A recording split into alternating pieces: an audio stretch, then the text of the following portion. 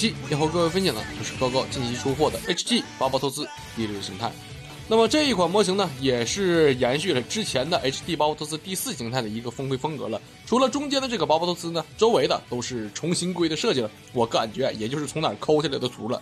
那么这一次的封面的颜色和万代的还是有些区别的，整体来说偏暗调，也算是符合一下铁炮团的那种感觉了。那么剩下时间我们来看一下里边的板件都有什么东西。HG 巴巴托斯的第六形态一共是有七块板件，那么高高这里边是提供了两个支架的，一种啊就是这一个通用的白色支架了，另外一种呢就是以前那种通用的老 HG 的支架了。但是说明书上并没有标注到这个黑色的零件，所以这一板黑色应该是多余放进里的，但我感觉也真的是多余了。贴纸的数量还是比较多的，但是这一次依旧是阴霾了，所以说到时候眼睛部分我就直接进行补色了，其他的就正常拼了。那么这一款板件呢，其实整体来说摸上去感觉油油的，也算是一个老高高的一个标配了。整体来说，这个零件的精度、细节刻画呢，还算是比较清晰了，至少要比高高早期的那一些模型呢。要好上一些了，所以说拼完这个效果可能也会更好一些。PC 件也是提供了一板之后，在剩余的蓝色了、白色了以及骨架部分的颜色的零件，其实整体来说这个划痕啊以及表面上这种颗粒感还是比较强烈的。所以说这个零件的表现呢，大体上看还可以，但是你要细看的话呢，就会发现各种各样的瑕疵了。但总之这一个瑕疵呢，也要比之前的要好上一些，也算是目前能接受的这么一个状态了。这一次相比较初版的 HG 巴沃特斯第四形态呢，在面颊的刻线部分是进行了补全的，而且高高这一次的面相做的确实是比较清晰了，正常的补色也并不会有多么的难。那么这一款模型的板件我们就先看到这里，剩下的时间我们来看一下这一款模型的具体素质表现到底如何。那么针对于这一款模型最后所呈现的这个状态，我个人感觉还是比较好的。针对于近期高高翻模的一些新 HG 呢，其实相对来说整体的质量呢，也算是高高模型里边一个上乘的水准了。即便如此，这一款模型依旧是存在着各种各样的问题的。但是这个问题啊，并不是特别的多，而且也特别好解决。剩下的时间，我们就简单的来看一下这一款模型到底是有哪些问题需需要去进行一定的修整的。那么以上就是这一款模型所提供的所有的配件了，包括一个巴巴图斯的主体以及第五形态部分的零件。加上这么一把恐龙锤，以及一个高高后续这种的标配的支架了，那么所有的内容物就是这些。我们先来说一下这一款模型的主体部分拼完了所存在的一个问题，其实这一款模型的整体的组合度以及它的模型精度啊，相对来说的还是比较好的。但是有一些通病呢，也就是首先啊，就是侧云甲这个地方的连接啊非常非常松，而且很容易脱落。然后就是手臂的球形关节这个地方呢也是非常松的，对于后续的把玩是一个很大的问题了。但是整个手肘的活动性又比较紧实，各位可以听一下。你可以听到部分的摩擦的声音，这个手感还是比较不错的。另外一个就是背包的这个零件真的是太松太松了，基本上也是一碰就掉的。然后就是这一款模型，我进行了修件的部分，只有这一篇啊，非常的少。首先呢，就是这个 PC 二这个零件和整个胸部的组合度稍微有些紧了，需要各位好好的去处理一下。再来呢，就是 A 二十一这个零件，我个人建议是针对于底下这个动力管的部分呢，给它点点胶水，让它粘在这个零件上，不然有的时候在把玩过程中它是容易松脱的。然后。就是整个胸部的装甲，我个人建议直接给它粘在胸部的这两个卡损上，效果会更好一些。再来就是天线部分比较松，需要用胶水进行加固。肩甲上方的零件是比较松的，需要用胶水进行加固。除此以外，这一款模型其他的部分我是没有去进行任何的修件的，正常把玩是没有任何问题。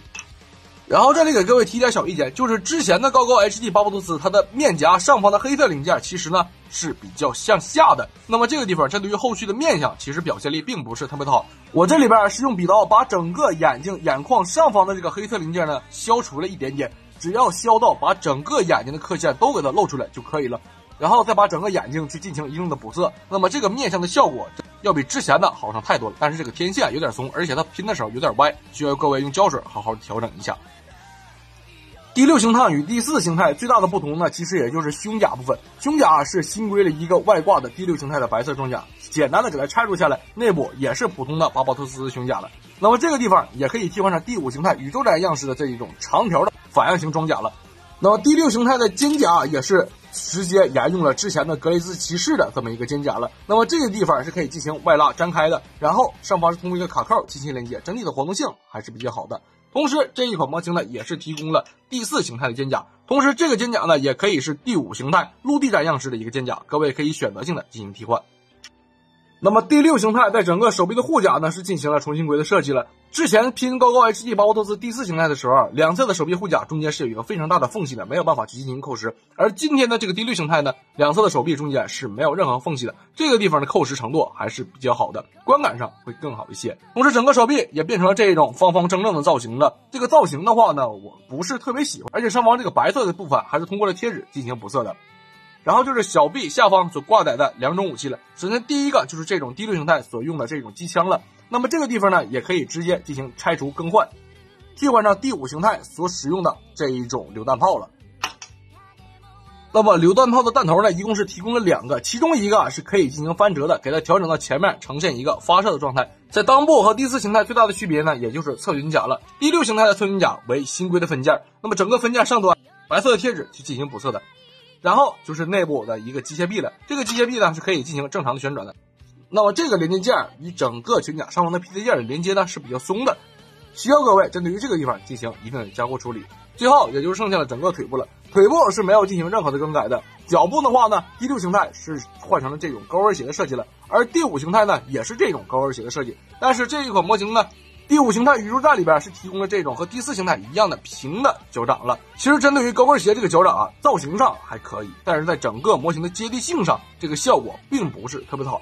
其实，在后续的把玩过程中呢，摆动作这个脚掌接地性确实不太好。我个人还是建议啊，使用原本第四形态的这个脚掌，效果会更好一些。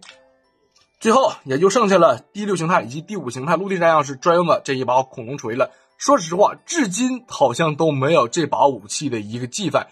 毕竟调查团刚落到地球上以后呢，三明在战斗中就偶然的发现有这么一把武器了，甚至说这把武器一直陪他到最终决战。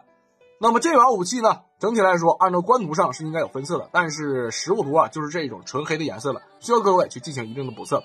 那么整款武器啊前端是可以进行上台，然后进行翻折的，内部的这个小电锯啊为单独的分件，其实收纳的过程中呢也可以把它拆除下来，然后进行一个完好的收纳样式，也是没有任何问题的。那么到此为止，这一款模型所有东西啊，我们就已经全部的介绍完成了。最后呢，我们简单的来看一下可动吧。其实整体的可动性呢，还都是比较扎实的，唯独像我之前所提提到的那几个问题啊，还都是有的了。至少这一款高高的 HD 巴布托斯，它的腰部它是完全不松垮的，头部的活动手感也相对于之前的那一款第四形态手感要好上很多。唯独是肩膀这个球形关节啊，真的实在是太松了。但是另外一个好处呢，就是它的手臂关节。是非常紧实，这个摩擦的手感呢，对于后续的大型武器握持也是没有问题的，所以需要针对于肩膀这个球形关节进行一定的加固。那么整个腿部啊，没有什么好说的，屈膝以及正常的活动幅度、脚腕的侧摆了，这些活动也都是比较紧实的，正常的把玩也是没有任何问题的。这一款高高 HD 巴布托斯的第六形态呢，目前的售价应该是在二十七元左右，相对于之前甚至说最便宜的时候，第四形态九块九包邮，这个价格真的是比较贵了。但是毕竟嘛，当时还是有和新厂对抗，而这个新厂呢，现在也不知道去出什么东西了。反正它出的越出越垃圾，所以这个时候又没有对抗了。高高新出的 HG 呢，又回到了之前那么一个标准的价格了。所以说这一款模型呢，可能就会有些贵了。而且万代哎本身 HG 巴布托斯就不是特别贵，所以这款模型性价比呢，可能也没有那么的高。但是单论素质啊，这一款模型呢，也算是高高模型里边数一数二的可以买的那么一款模型了。那么本。Baby, you give me ice and fire.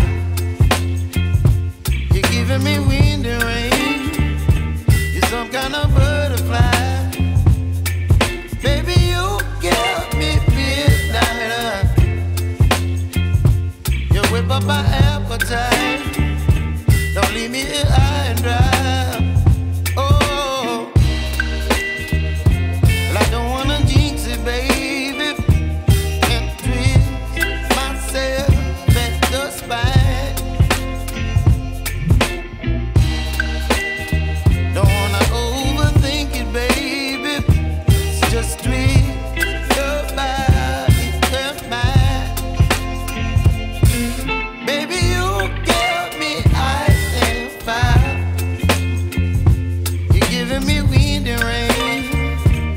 some kind of.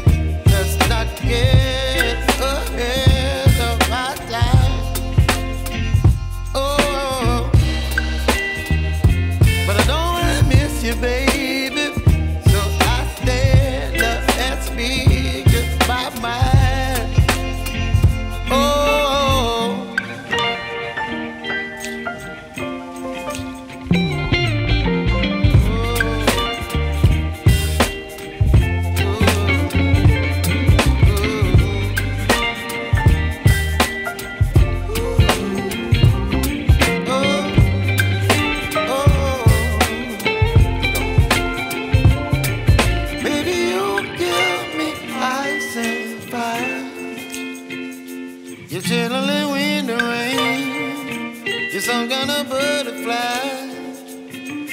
Baby, you give me midnight. You whip up my appetite.